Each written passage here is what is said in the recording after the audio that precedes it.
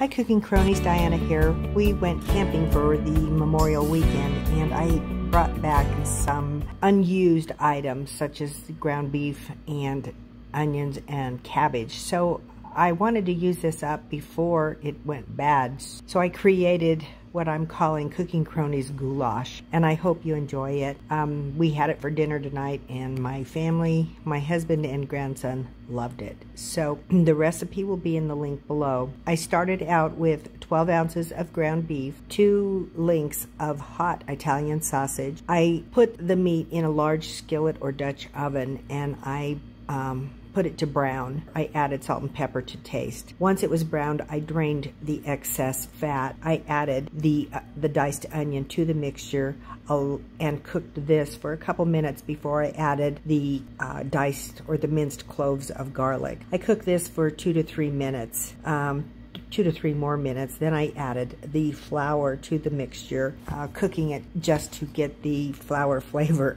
out, but I wanted uh, the flour in there to uh, thicken up the sauce that I was going to um, have in this mixture. I added 12 ounces of garbanzo beans. I rinsed them and drained them, and I added four cups of beef, beef broth, and I covered it and simmered for about five minutes. While this was simmering, I chopped up the half a head of cabbage and added it to the mixture. It just didn't look like it had enough color, so I chopped up a couple of the Campari tomatoes that I had to give it some flake, uh, give it some color. And then I added two tablespoons of dried parsley flakes to this and cooked it just for a couple more minutes. This um, can be eaten just like that um, and top it with Parmesan cheese because I like Parmesan cheese on everything. Or you can add it um, top off pasta or mashed potatoes. Um, that would be delicious with this mixture as well. We had it with pasta and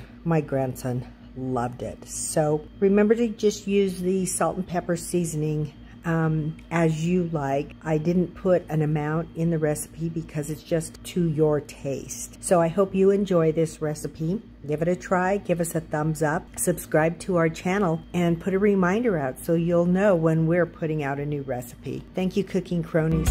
God bless.